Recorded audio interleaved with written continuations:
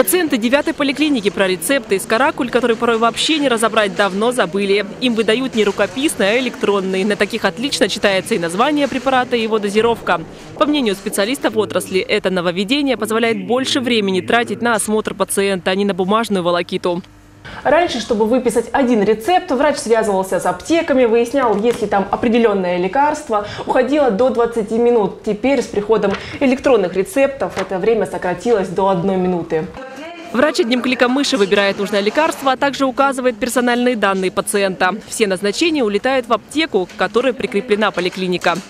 Медсестра участковая на приеме здесь же выписывает в электронном виде рецепты необходимые пациенту.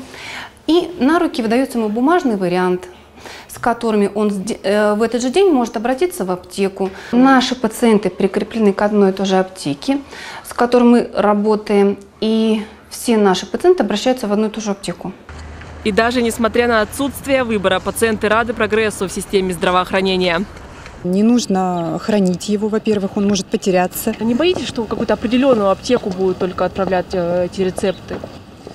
А, ну, видимо, у них единая сеть должна быть.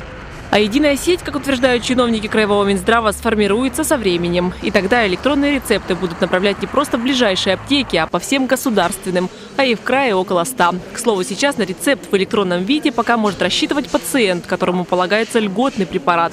Правда, и то не всегда.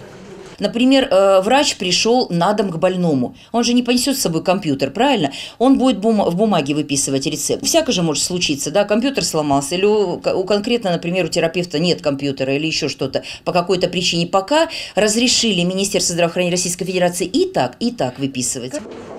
Кстати, уже к концу этого года, заявляют чиновники, получить электронный рецепт смогут не только льготники, но и обычные пациенты, пришедшие на прием. Правда, тут возникает вопрос, если льготникам выбирать аптеку не нужно, лекарства для них выдают бесплатно, то другим больным, которые приобретают таблетки за свой счет, хочется аптеку повыгодней, но при электронном рецепте такого выбора может и не быть. Однако как будет работать вся эта система, специалисты сказать не могут. Известно, что к 2023 году не менее 70% поликлиник и больниц страны должны выписывать в основном электронные рецепты. Валентина Аскерова, Алексей Фризин. Наши новости.